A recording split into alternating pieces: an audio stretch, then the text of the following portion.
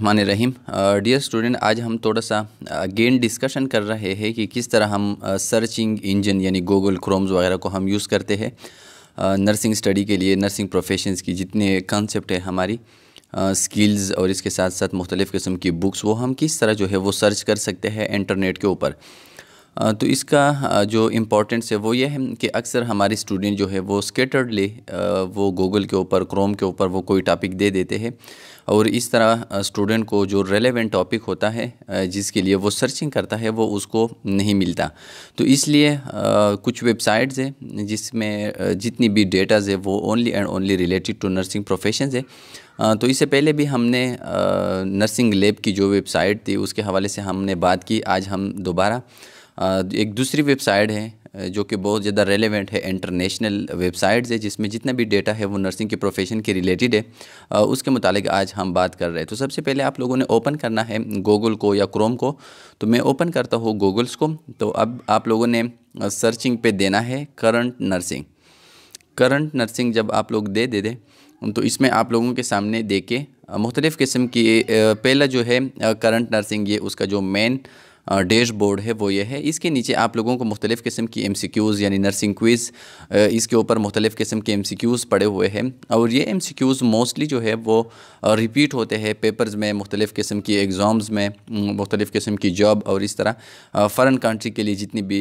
Test होते हैं, mostly यहाँ से एम सी क्यूज़ जो है, वो उठाए जाते हैं। तो नर्सिंग क्विज़ नर्सिंग क्विज़ को जब आप लोग क्लिक करें तो इसके अंदर जितने भी एम सी क्यूज़ है उसके ऑप्शन भी आप लोगों को दिए जाते हैं। इसके साथ साथ nursing theories, nursing research fundamental of nursing quiz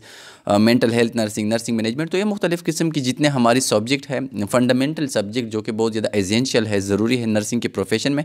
तो उन सब के एम जो है वो आप लोगों को यहाँ पर मिल सकते हैं और इसके साथ साथ मुख्तलिफ़ किस्म की जो डेटा है बुक्स वगैरह है, वो भी आप लोगों के सामने जो है वो मिल जाते हैं। इसके साथ साथ ये मेन यानी करंट नर्सिंग की जो मेन पेज है, यहाँ पर भी आप लोग जो है वो एक्सेस हासिल कर सकते हैं, और मुख्तलिफ़ किस्म की जितनी सब्जेक्ट है, यानी current nursing nursing theories research mental health nursing quiz and more तो इसमें मुख्तलिफ़ किस्म के जितने भी सब्जेक्ट है उनके जो एम सी क्यूज़ वगैरह है, वो आप लोगों को यहाँ पे ईज़िली जो है वो अवेलेबल है। और यहाँ पे जितनी भी एम सी क्यूज़ है, वो आप लोग जो है वो उसको डाउनलोड भी कर सकते हैं, उसको आप लोग जो है साल भी कर सकते हो तो ये बहुत ज़्यादा ज़रूरी है।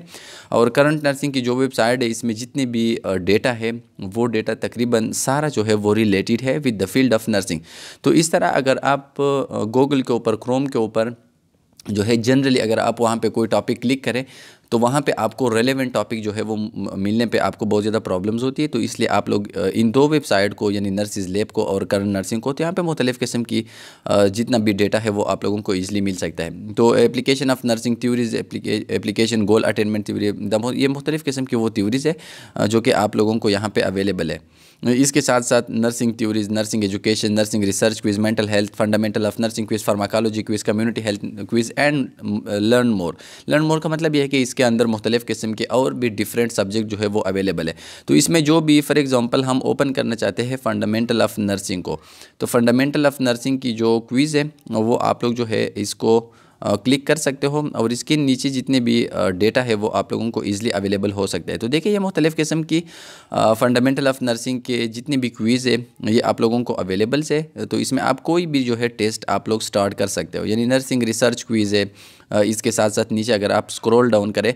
तो नर्सिंग थ्यूरीज जो है इसके मुख्तलिफ़ किस्म की क्वीज़ है और इसमें आप किसी को भी क्लिक कर सकते हो और आपको जो भी इंफॉर्मेशन चाहिए, जो भी एम आप लोगों को चाहिए, वो आप लोगों को ईज़िली अवेलेबल है। तो देखिए ये आप लोग self care deficit theory was propose by तो आप लोग देख ले, जितने भी आप लोगों के वर्ल्ड पेपर है, जितने भी आप लोगों की एग्ज़ाम्स के एम होते हैं मोस्टली जो है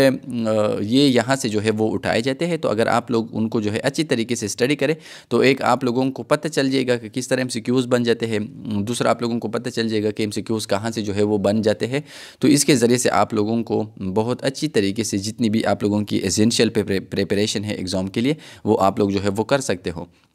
तो मुख्तलिफ़ किस्म की ये टेस्ट है। आ, किसी भी टेस्ट को आप लोग स्टार्ट कर सकते हो और एट द एंड आप लोगों को उसकी जो करेक्ट क्वेश्चंस होती है करेक्ट उसके जो आंसर्स होती है वो आप लोगों को जो है वो ईज़िली मिल सकते हैं। और इस तरह आप लोग रीजंस भी आप लोगों को प्रोवाइड किया जाता है कि अगर आपका क्वेश्चन रॉन्ग है तो वो रॉन्ग क्यों है? अगर करेक्ट है तो वो करेक्ट क्यों? तो मुझे उम्मीद है कि hope you will learn the best and it will help in your study much more